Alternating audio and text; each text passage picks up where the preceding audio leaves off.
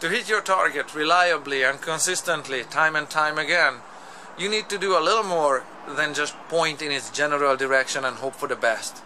You need to calculate. In this video, I'll show you how to do ballistic trajectory calculation, the basic one. There's two ways you can go about this. You can go high-tech, which is failure prone, subject to weather, subject to temperature conditions. Uh, they are not waterproof unless you're forking at hundreds or maybe thousands. And uh, even so, they may fail you. However, what is in your head is usually with you all the time. And uh, I'll show you how to do this calculation. You can do it in the woods uh, in the uh, extreme temperatures if you have a piece of pencil or uh, anything you can write with you can do very simple before we do any calculations two concepts that you need to be crystal clear on uh, none of them are new both have been around at least 400 years or so since Mr. Galileo's time in my hand here here's a chunk of eraser synthetic rubber or latex whatever it is made of and here is a toy from the kiddies' shelf. All things fall towards the ground at the same rate regardless of their masses. Okay?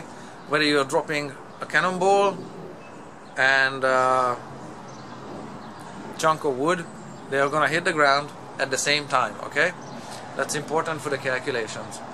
Uh, the second one is uh, horizontal speed parallel to the ground has nothing, absolutely nothing to do with uh, vertical drop. What I'm saying is, if you fire a cannonball or something heavy at, I don't know, 2000 feet per second speed, and you drop this kiddie toy, and the moment this is dropped is exactly the same moment the cannonball is fired. From the same height they will hit the ground at exactly the same time obviously the cannonball will be I don't know two miles out from you from the point of uh, release and the kiddie toy will be directly underneath its point of release horizontal speed again has nothing to do with the Earth's gravitational pull. Okay? That's very important for the calculations. In other words, let me just grab this arrow. This arrow, when this arrow travels uh, three points, uh, sorry, three tenths of a second towards its target, this will drop exactly the same distance in three tenths of a second as a high-powered uh, rifle's bullet drops in three tenths of a second. Obviously, the arrow will need to be much closer to its target to cover a distance in three tenths of a second and in the same three tenths of a second the high powered uh, rifle's bullet will cover way more ground. But in the same amount of time three tenths of a second they will drop exactly the same vertical distance towards the ground. So they need to be uh, so your trajectory need to be adjusted accordingly. So let's get started there. I'll show you how it's done really fast.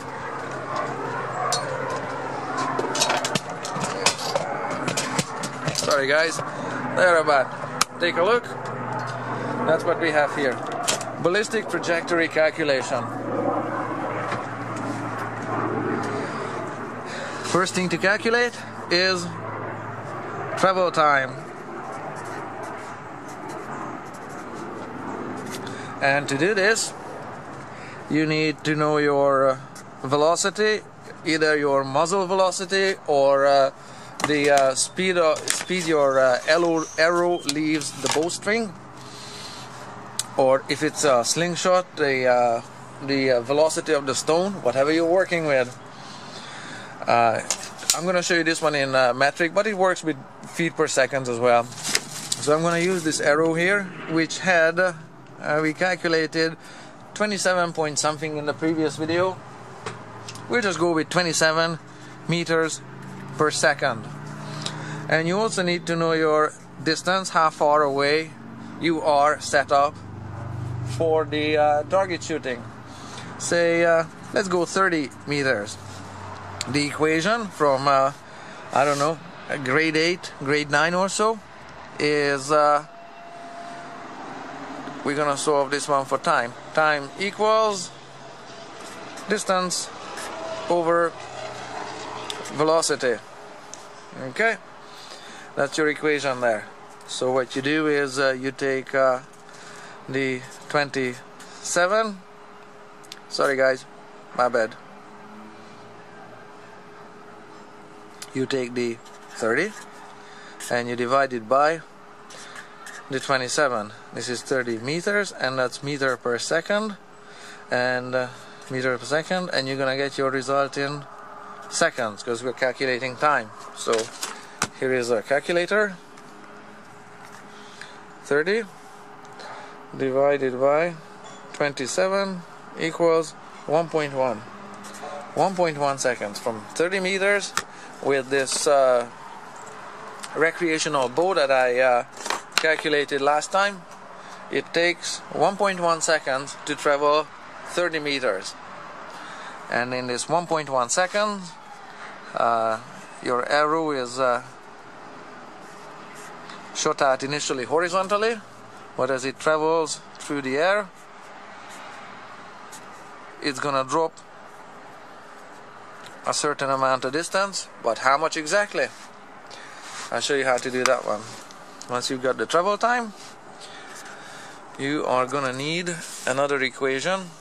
And I'm just gonna cut to the chase with that one. What we need is uh, the distance that it drops. That's not that's not the same distance as the distance that it is initially set up from the target. Okay? So that's that's your first distance is 30 meters there okay we're calculating this second distance here the drop distance so I will index it with distance drop like DD okay? And it's calculated with the following equation. The gravitational constant the gravitational pull of the earth if you're shooting on the earth uh, if you're shooting on the uh, moon it's gonna be a different number divided by 2 times time squared okay and I'm gonna make a little table here. 0.1 seconds of travel 0.2 0.3 uh, 0.5 0.8 and 1.1 seconds. And we'll calculate all of them really fast just so you can see just so you can see what's happening. So we calculated travel time how long it takes for the arrow to travel this uh, distance. And now we're going to calculate this drop distance how much it drops down while it's traveling during this time. Okay. And what you do is uh, the gravitational pull is uh, 9.8 meters per second square on planet earth as is. And that one is divided by half so that's gonna become a 4.9 so we're gonna I'm gonna calculate with 4.9 throughout and it's real simple from here on. 4.9 times 0.1 times 0.1 that's what squaring means that you times it by itself equals that amount. Is 0.049 meters which is approximately equal to 5 centimeters which is approximately equals to 2 inches. That's how you write inches with those two whiskers so if your travel time is one tenth of a second, uh, you're dropping down two inches or five centimeters. If your uh, travel time is two, uh, 0.2 seconds, then uh, 0.2 squared, because you can do it this way as well, times 4.9 equals that number 0.1 0.96 meters which is approximately equal to 20 centimeters. And 20 centimeters is uh, here it's about 8 inches. 8 inches there because this tape is metric and uh, imperial. In uh, 3 tenths of a second we've got 0.3 squared times 4.9 is uh, 0.441 meters which approximately equals to 44 centimeters which is about 17 inches. 0.5 seconds will give you a number 0.5 squared times 4.9 equals okay that's a mistake there that's a 1 okay that's a digit 1 now okay that's a 1.225 sorry guys my bad. Uh, that's 1.225 meters and that is uh, that's pretty close to 4 feet. 4 feet of vertical drop. If you are uh, so far away from the target that your projectile travels 8 tenths of a second then we're gonna have to square that one and times it by 4.9 and we get 3.136 meters which is a lot and uh, 3 meters is let me just get this one here 3136 is there 10 foot 4 inches okay? 10 foot 4 inches that's heavy write 10 foot 4 okay? And uh, if your travel time is 1.1 seconds like we calculated here it's 1.1 squared times 4.9 is 5.9 meters. 5.9 meters which is oh I don't know if my tape is long enough for this. Uh, maybe it is. 5 5.1, 5.7, 5.9 meters is uh, 19 feet 4 inches. 19 feet 4 inches. Okay? So if you're shooting with this very, very uh, uh, low powered uh, arrow or bow, you shoot at that arrow, you're gonna have to aim uh, 19 feet and 4 inches above the target to hit the target accurately and like I said this is a basic calculation and uh, I didn't compensate for side wind or uh, tailwind or headwind or any of those kind of things. But uh, what this calculation shows you is uh, uh, that uh, the more time it spends in air your traje your your arrow or bullet the uh, more it drops in uh, height. And the drop is not a linear drop. Is not an even drop. It's dropping more and more. You look at uh, the drop rate of uh, the first tenth of a second the second tenth of a second and the third tenth of a second and we're going from 2 inches to 8 inches to uh, 18 17 inches. So it's not a linear because your projectile is accelerating towards the ground okay and is decelerating towards its target and it's gonna uh, drop more and more. So that's how you do these calculations and uh, you can do these numbers really easily in field and you don't necessarily need necessarily need to overthink this and uh, and uh, go high-tech crazy. Trick but it works with feet per second as well. So I'm gonna use this arrow here which had uh, we calculated 27 point something in the previous video. We'll just go with 27 meters per second. And you also need to know your distance how far away you are set up for the uh, target shooting. Say uh, let's go 30 meters. The equation from uh, I don't know grade 8 grade 9 or so is uh,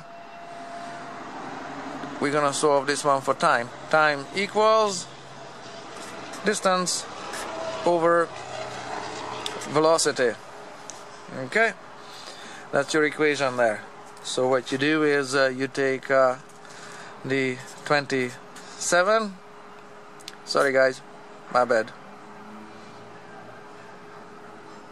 You take the 30 and you divide it by the 27 this is 30 meters and that's meter per second and uh, meter per second and you're gonna get your result in seconds because we're calculating time. So here is a calculator. 30 divided by 27 equals 1.1 1.1 seconds from 30 meters with this uh, recreational bow that I uh, calculated last time it takes 1.1 seconds to travel 30 meters and in this 1.1 seconds uh, your arrow is uh, shot at initially horizontally but as it travels through the air it's gonna drop a certain amount of distance. But how much exactly? I'll show you how to do that one. Once you've got the travel time you are gonna need another equation and I'm just gonna cut to the chase with that one. What we need is uh, the distance that it drops. That's not that's not the same distance. To hit your target reliably and consistently time and time again you need to do a little more than just point in its general direction and hope for the best. You need to calculate. In this video I'll show you how to do ballistic trajectory calculation the basic one. There's two ways you can go about this. You can go high-tech which is failure prone subject to weather subject to temperature conditions. Uh, they are not waterproof unless you're forking at hundreds or maybe thousands. And uh, even so they may fail you. However what is in your head is usually with you all the time.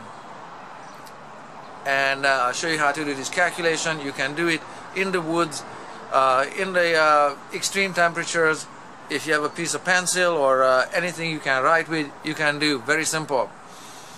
Before we do any calculations two concepts that you need to be crystal clear on. Uh, none of them are new. Both have been around at least 400 years or so since Mr. Galileo's time. In my hand here here's a chunk of eraser synthetic rubber or latex whatever it is made of. And here is a toy from the kid's shelf. All things fall towards the ground at the same rate regardless of their masses. Okay? Whether you're dropping a cannonball and a chunk of wood they're gonna hit the ground at the same time okay? That's important for the calculations. Uh, the second one is uh, horizontal speed parallel to the ground has nothing, absolutely nothing to do with vertical drop. What I'm saying is if you fire a cannonball or something heavy at I don't know 2000 feet per second speed and you drop this kiddie toy and the moment this is dropped is exactly the same moment the cannonball is fired. From the same height they will hit the ground. Then uh, 0.2 squared because you can do it this way as well times 4.9 equals that number 0.196 meters which is approximately equal to 20 centimeters. And 20 centimeters is uh, here it's about 8 inches 8 inches there because this tape is metric and uh, imperial. In uh, 3 tenths of a second we've got 0.3 squared times 4.9 is uh, 0.441 meters which approximately equals to 44 centimeters which is about 17 inches. 0.5 seconds will give you a number 0.5 squared times 4.9 equals okay that's a mistake there that's a 1 okay that's a digit 1 now okay that's a 1.225 sorry guys my bad. Uh, that's 1.225 meters, and that is uh, that's pretty close to four feet. Four feet of vertical drop. If you are uh, so far away from the target that your projectile travels 8 tenths of a second then we're gonna have to square that one and times it by 4.9 and we get 3.136 meters which is a lot and uh, 3 meters is let me just get this one here. 3136 is there. 10 foot 4 inches okay? 10 foot 4 inches that's how you write 10 foot 4 okay? And uh, if your travel time is 1.1 seconds like we calculated here it's 1.1 squared times 4.9 is 5.9 meters. 5.9 meters which is oh I don't know if my tape is long enough for at exactly the same time. Obviously the cannonball will be I don't know two miles out from you from the point of uh, release and the kiddie toy will be directly underneath its point of release. Horizontal speed again has nothing to do with the earth's gravitational pull okay? That's very important for the calculations in other words let me just grab this arrow. This arrow when this arrow travels uh, three points uh, sorry three tenths of a second towards its target this will drop exactly the same distance in three tenths of a second as a high powered uh, rifle's bullet drops in three tenths of a second.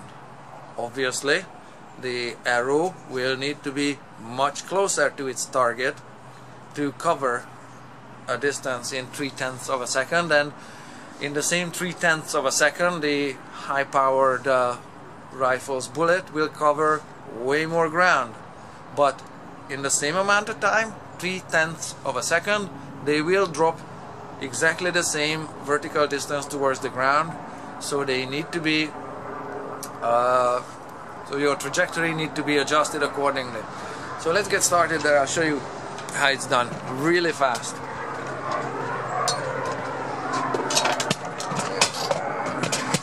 Sorry guys. There about take a look. That's what we have here. Ballistic trajectory calculation. First thing to calculate is travel time and to do this you need to know your uh, velocity either your muzzle velocity or uh, the uh, speed of, speed your uh, arrow, leaves the bowstring. Or if it's a slingshot the uh, the uh, velocity of the stone whatever you're working with. Uh, I'm gonna show you this one in uh, meters as the distance that it is initially set up from the target okay? So that's that's your first distance is 30 meters there. Okay we're calculating this second distance here the drop distance. So I will index it with distance drop like DD okay? And it's calculated with the following equation. The gravitational constant the gravitational pull of the earth if you're shooting on the earth uh, if you're shooting on the uh, moon it's going to be a different number divided by 2 times time squared. Okay? And I'm gonna make a little table here. 0.1 seconds of travel 0.2 0.3 uh, 0.5 0.8 and 1.1 seconds. And we'll calculate all of them really fast just so you can see just so you can see what's happening so we calculated travel time how long it takes for the arrow to travel this uh, distance. And now we're going to calculate this drop distance how much it drops down while it's traveling during this time. Okay. And what you do is uh, the gravitational pull is uh, 9.8 meters per second square on planet earth as is and that one is divided by half so that's gonna become a 4.9 so we're gonna I'm gonna calculate with 4.9 throughout and it's real simple from here on. 4.9 times 0.1 times 0.1 that's what squaring means that you times it by itself equals that amount. Is 0.049 meters which is approximately equal to 5 centimeters which is approximately equals to 2 inches. That's how we write inches with those two whiskers. So if your travel time is one tenth of a second uh, you're dropping down 2 inches or 5 centimeters. If your uh, travel time is two, uh, 0.2 seconds